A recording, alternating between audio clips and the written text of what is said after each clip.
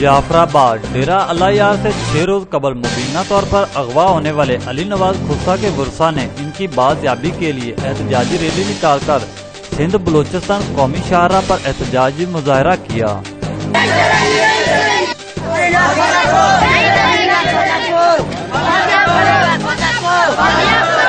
Police کی جیسے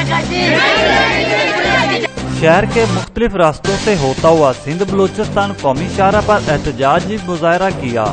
rally کے شرکا نے ہاتھوں میں پلے کارز اور بینرز اٹھا رکھے تھے، جن پر علی نواز کھوسا کی بازیابی کے نعرے درج تھے۔ اغوا ہونے والے علی نواز خوصہ کے ورسا نے احتجاجی ریلی سے خطاب کرتے ہوئے کہا کہ ورسا کی جانب سے ڈی آئی جی نصیر آباد کے آفس کے سامنے احتجاجی دھرنا دیا جائے گا۔ کیمرہ مین ٹیم کے ساتھ شفیق جمالی، راز 24 نیوز جعفر آباد